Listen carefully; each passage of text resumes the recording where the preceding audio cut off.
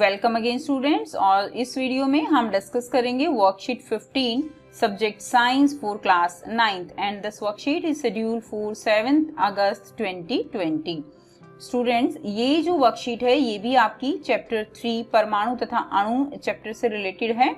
और इसमें हम परमाणु द्रव्यमान के बारे में पढ़ेंगे।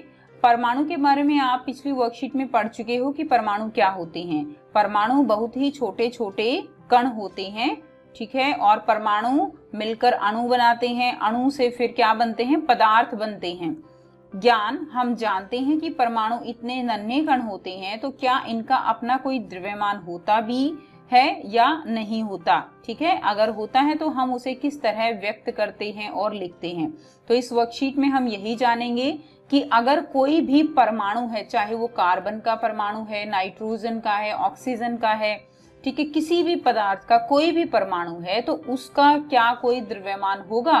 क्योंकि बच्चों, हमें पता पता है कि कोई भी पदार्थ होता है तो उसका अपना एक द्रव्यमान होता है।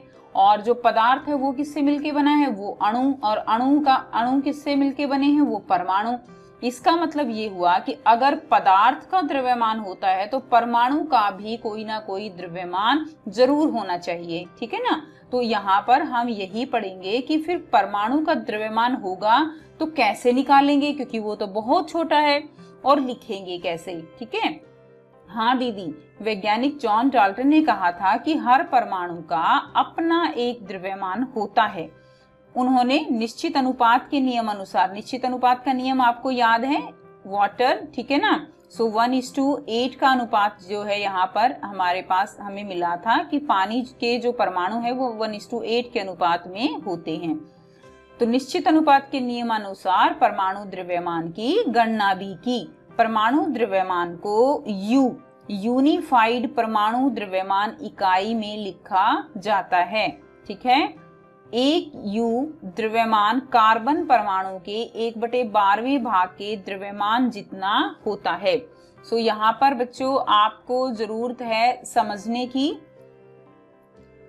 कि जो भी परमाणु द्रव्यमान होगा उसको हम कैसे लिखेंगे उसको हम यू में लिखेंगे ठीक है? यूनिफाइड जैसे हम gram kilogram litre kilometre metre इकाई लेते हैं द्रव्यमान, परमाणुओं के द्रव्यमान को मापने के लिए जो इकाई है, वो क्या है? यूनिफाइड परमाणु द्रव्यमान इकाई, ठीक है? जिसको हम किससे दिखाएँगे? हम यू से दिखाएँगे।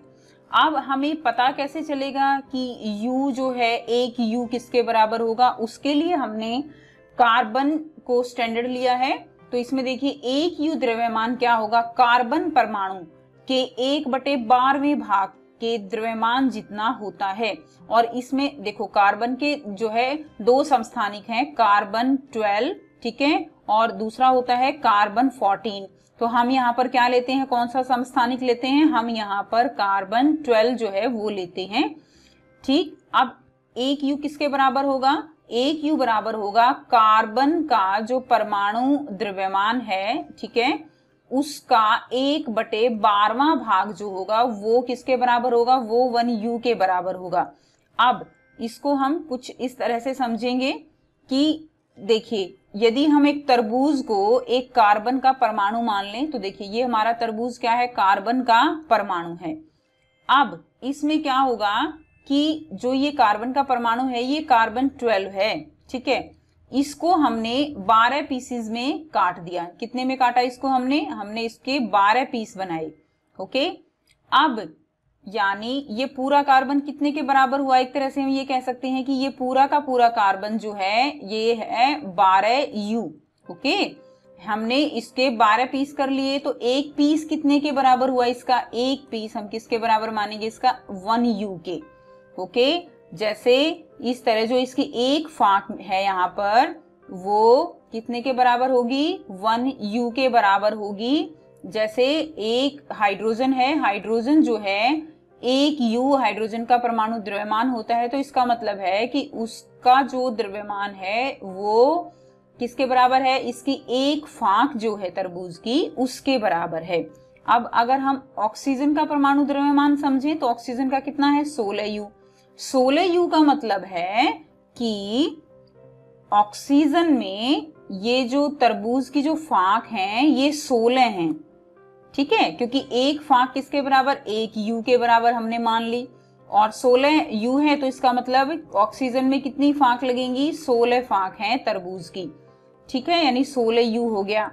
इसी तरह कोई भी अगर आप एग्ज़ाम्पल लेते हो नाइट्रोजन लो नाइट्रोजन का कितना होता है? फोर्टीन इसका मतलब क्या है कि ये किसके बराबर है? फोर्टीन जो तरबूज की फाक है, उसके बराबर है।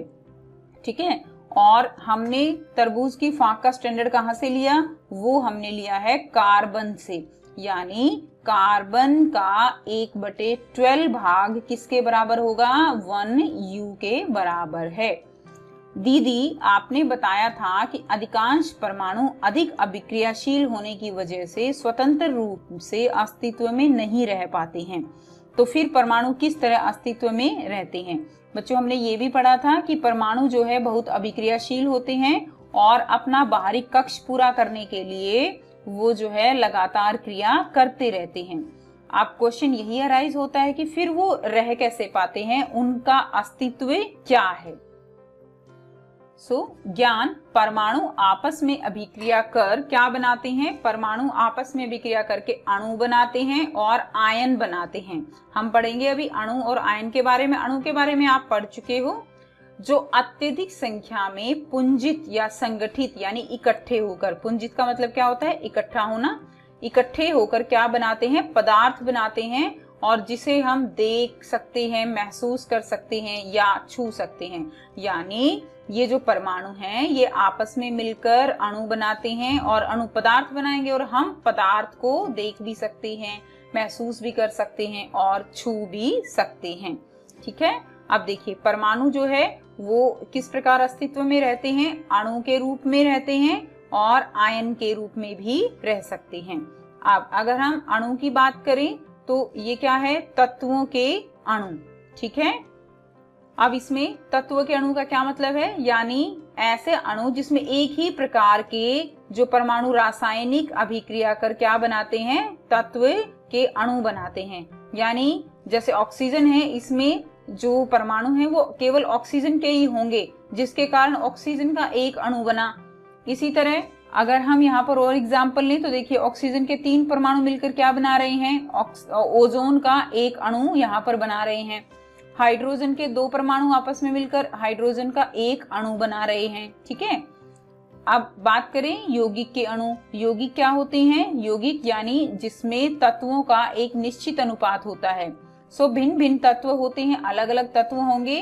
उनके परमाणु एक निश्चित अनुपात में जुड़कर यौगिक के अणु बनाते हैं। जैसे हाइड्रोजन प्लस ऑक्सीजन यहाँ पर क्या बनता है? यहाँ पर बनेगा आपका वाटर ठीक है? यहाँ पर क्या होगा? वाटर बनेगा। नेक्स्ट आयन क्या होते हैं? सो so, आयन क्या है? आवेशित कणों को हम आयन कहते हैं।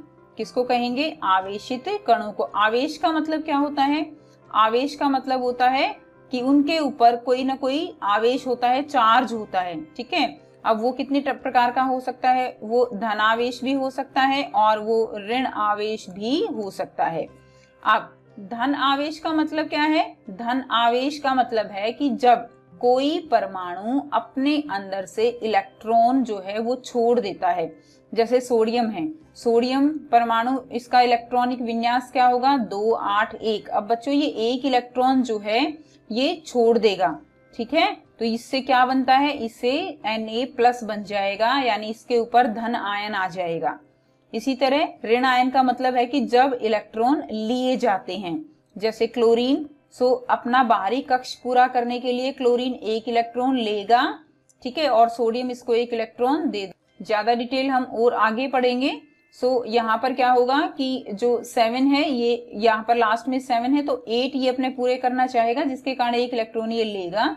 और यहाँ से क्या बनेगा? यहाँ से बनेगा एन ए सी एल अब यहाँ पर एन ए के ऊपर आया धन आवेश और क्लोरीन ने इलेक्ट्रॉन लिए हैं तो जितने लिए हैं उतना ही क्या आएगा? ऋणावेश एक इलेक्ट्रॉन लिया है तो वन नेगेटिव चार्ज इसके ऊपर आ जाएगा।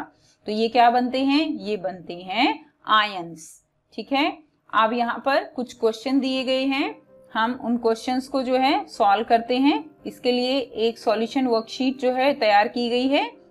सो so, स्टूडेंट्स ये कुछ क्वेश्चंस हैं जो हमारा अगर आपने वर्कशीट को अच्छे से समझा है बच्चों तो आप इजीली इन क्वेश्चंस को सॉल्व कर सकते हो। सो फ़र्स्ट क्वेश्चन क्या है? क्या सभी पदार्थों का परमाणु द्रव्यमान एक जैसा होता है? तो बच्चों सभी पदार्थों का परमाणु द्रव्यमान एक जैसा नहीं होता ठीक है? आपने पढ़ा है कि जैसे कार्बन है तो उसका परमाणु द्रव्यमान कितना है? 12 है। नाइट्रोजन है तो 14 है। ऑक्सीजन है तो 16 है। तो हर एक जो तत्व है, हर एक जो पदार्थ है, उसका परमाणु द्रव्यमान अलग अलग होता है। हर एक परमाणु का द्रव्यमान अलग होगा तो जो उससे बने हुए जितने भी अणु हैं पदार्थ हैं, उनका भी परमाणु द्रव्यमान अलग अलग हो जाएगा। नेक्स्ट, प्रश्न दो क्या है? परमाणु द्रव्यमान इकाई क्या है? उदाहरण सहित लिखो। सो so, परमाणु द्रव्यमान इकाई क्या होगी? कार्बन। कार्बन कौन सा लेंगे हम? मैंने आपको बताया समस्थानिक ट्वेल्व कार्बन बारह के एक परमाणु के किसी विशेष समस्थानिक के द्रव्यमान के एक बटे बारहवें भाग को हम क्या कहेंगे? परमाणु द्रव्यमान मात्रक या इकाई कहते हैं। सो so, मैंने आपको वहाँ भी समझाया है। कार्बन बारह है, ठीक है? इसका परमाणु द्रव्यमान कितना है? बारह यू। इसके बारह टुकड़े कर दीजिए। एक टुकड़ा एक यू के बराबर और एक यू जो है वो क्या होगा? स्टैंडर्ड होगा। अब अगर ऑक्सीजन है तो वो जो है सोलह यू है, ठीक है? यानी सोलह यू का मतलब क्या है कि उसका एक यू कार्बन के एक बटे बारहवें भाग के बराबर है।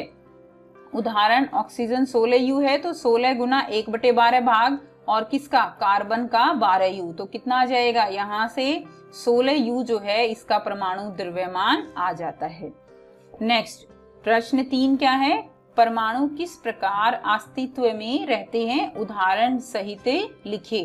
तो देखिए बच्चों, परमाणु किस प्रकार अस्तित्व में रहेंगे?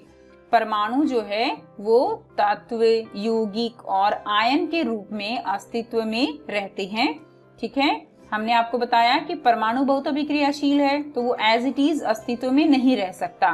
केवल जो अक्रिय परमाणु है, अक्रिय गैसे जैसे नियोन होता है आर्गन है, जिनके बाहरी कक्ष पूरा होता है, आठ या दो जिनके अंदर भरे हुए होते हैं, वही जो है अस्तित्व में, स्वतंत्र रूप से अस्तित्व में रह पाते हैं, बाकी नहीं रह पाते। तो देखिए, तत्व बनते हैं। तत्व का मतलब क्या है? जिसमें एक ही प्रकार के क्या होते हैं? परमाणु होते हैं। जैसे ऑक्सीजन प्लस ऑक्सीजन क्या बना? जो ऑक्सीजन का एक अणु बना, ठीक है? इसी प्रकार यौगिक यौगिक में क्या है? आप तत्व में और भी एग्ज़ाम्पल ले सकते हो। हाइड्रोजन है, ओजोन फॉस्फोरस तो ये सभी परमाणु एक ही प्रकार के परमाणु अणु मिल, बनाते हैं। अगर हम बात करें यौगिक की तो देखिए कार्बन डाइऑक्साइड अमोनिया और पानी इसका एग्ज़ाम्पल होगा। आयन की बात करें तो देखिए सोडियम जो है आयन है क्लोराइड आयन है, ठीक है? तो दोनों मिलके क्या बना लेते हैं? दोनों मिलके NaCl यहाँ पर बना लेते हैं। तो इस फॉर्म में भी ये जो है अस्तित्व में रहते हैं। नेक्स्ट प्रश्न चार क्या है? आयनों पर किस प्रकार के आवेश होते हैं? उदाहरण सहित लिखो। तो देखो बच्चों आयनों पर दो प्रकार के आवेश होते हैं। धन आवेश धन आवेश का मतलब क्या है? इलेक्ट्रॉन का देना। सोडियम एक इलेक्ट्रॉन देगा तो इसके ऊपर एक प्लस आ गया तो ये क्या होगा? धन आवेश। दूसरा है ऋण आवेश मतलब इलेक्ट्रॉन का लेना। फॉर एग्ज़ाम्पल क्लोराइड आयन इसने इलेक्ट्रॉन लिया है तो ये क्या इसके ऊपर एक जो है माइनस का आवेश आ जाएगा। सो so, ये थी कंप्लीट फोर क्वेश्चंस आपके वर्कशीट में जो पूछे गए थे। सो आई होप आपको जो है वर्कशीट क्लियर है और वीडियो कैसी लगी, ये कमेंट करके ज़रूर बताइए और अगर कोई प्रॉब्लम है तो बच्चों आप कमेंट करके पूछ सकते हो। ठीक है? और चैनल को सब्सक्राइब नहीं किया है तो चैनल को सब्सक्राइब कर लें और बेल आइकन भी प्रेस कर लें ताकि हर वीडियो की नोटिफिकेशन आपको मिलती रहे। So thanks for watching student